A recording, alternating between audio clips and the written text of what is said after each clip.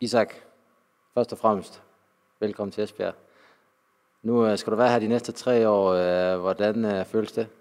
Det føles bare super godt. Det er bare super stor klub, og jeg er bare meget glad. Det her med, at du nu vælger at rykke til Esbjerg, hvordan ser du på det skridt i din fodboldkarriere? Det er en stor, stor, stor klub, og, og min følelse er, at det er en, øh, det er en uh, sleeping giant, som, uh, som jeg er meget glad at være i nu, og, og, og godt, godt, uh, godt uh, step in my career.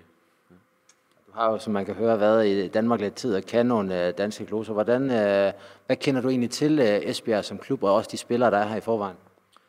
Jeg kender som islændinge, som har været i, i, i, i Esbjerg, André Runar, and uh, uh, så, så kender jeg uh, uh, den finske spiller. Jeg kender dem bare fra TV, og det er som meget god spiller, som har været i Esbjerg.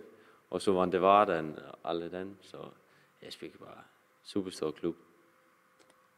Nu skal du jo bruge, som sagt, de næste tre år i Esbjerg. Hvordan forventer du, dit, din tid her bliver, og hvad, hvad ser du frem til at udvikle os dig selv personligt? Mm for mig personligt, det er en, øh, det er en klub, som jeg skal komme og, og tage en uh, stor skridt i min karriere.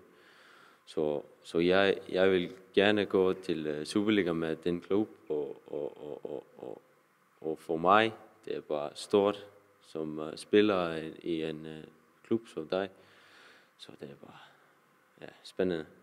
Dem, der måske ikke helt kender dig, hvordan vil du beskrive dig selv som uh, fodboldspiller?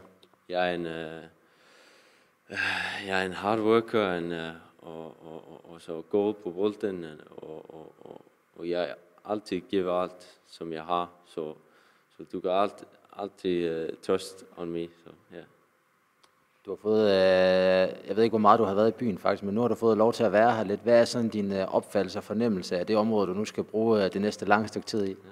Ja, Esbjerg er bare stor by for mig. Jeg kommer fra Island, så så uh, Esbjerg er bare en uh, hovedkapital for mig, så det er bare huge, huge by for mig. Ja.